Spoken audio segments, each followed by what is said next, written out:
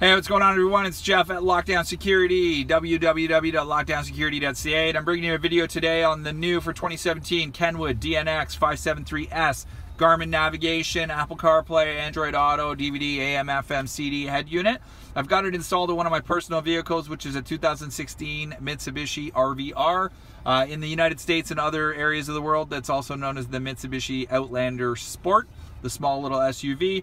Uh, essentially, this unit is a 6.1 inch touchscreen Garmin navigation equipped unit with a volume dial uh, with CarPlay or Android Auto. In this case, I've got uh, an Apple iPhone connected, so CarPlay is what will uh, operate. For those of you who don't know what CarPlay is, it is essentially the ability to control your phone directly through the radio and control all the major apps such as phone calls, music, maps, messages, uh, podcast, audiobooks, and then to go back to my home, it goes back to the Kenwood menu.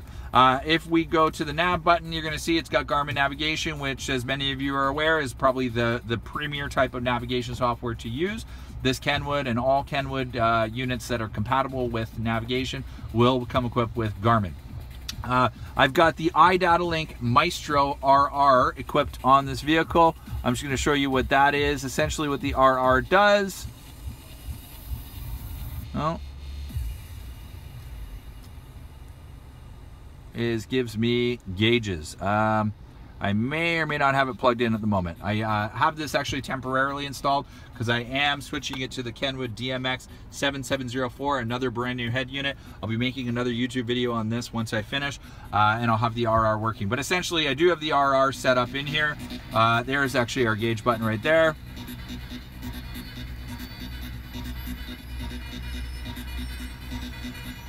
There we go. Uh, you're to see essentially uh, RPM. If I step on the gas, you'll see it shows on the radio screen. Uh, you've got a couple of other things too. Just to turn the volume down here. Um, you've got mass airflow, you got timing, you got mass air pressure, torque, uh, fuel level. Uh, it's all synced to the radio using the iDataLink Maestro RR. The other thing that's synced to the radio, steering wheel controls, track back, track forward, Siri, Siri may not work because I don't have a SIM card in the iPhone that's in there. Uh, phone call, answer, phone call, end, basically right here. All of this is integrated into the radio. The other thing I want to show everybody is I'm using the Axxess AX Mitsu Cam. So in this particular vehicle, it did come with a factory backup camera. I've been able to retain that. If I put it in reverse, there's the factory backup camera. I'll hop out of the vehicle and I'll show you why I retained it. This right here is the factory backup camera. Uh, I really like the of it. I didn't want to change it. The car already came with it, so why not retain it? I will admit the image quality is not as good as an aftermarket camera, but hey, I didn't actually have to install a new backup camera and it's fully integrated. In order to do that, you do need this access harness. We carry these harnesses in our online store. We have these for a number of different vehicles. Many new vehicles, we can retain your OEM backup camera, even if you change the head, the head unit, excuse me. Uh, just put it back into park. Uh, a couple of other things. It does have HD radio. It does have a DVD player. The DVD slot is right here. It's got an SD card slot for map updates as well as firmware updates. This particular unit, I have not updated the firmware. I put this unit in about three months ago, so it's running the initial firmware.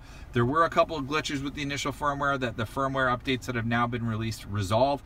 Uh, some CarPlay connection issues, etc., but that's all been fixed now. Uh, the other thing that the firmware updates uh, addressed, you may have noticed in my video, the touchscreen was not as sensitive as I would like like, as I'm sure some of my viewers would like. Uh, the firmware update addressed that as well. So, to conclude the video, if you are looking for a Garmin navigation equipped in-dash head unit with CarPlay and Android Auto, the DNX 573 S is a great choice. Uh, any Kenwood head unit is a great choice, but if you're looking for something that's got not only CarPlay and Android Auto, but built-in nav, this is a great uh, solution for your needs. And uh, if you have any questions, contact us, sales at lockdownsecurity.ca. You can call us 1 824 4118 or visit us on the web, lockdownsecurity.ca. If you like this video, hit the like button. If you could, subscribe to our YouTube channel. It does go a long way to help us make more videos like this in the future. We hope you enjoyed this video. Thanks.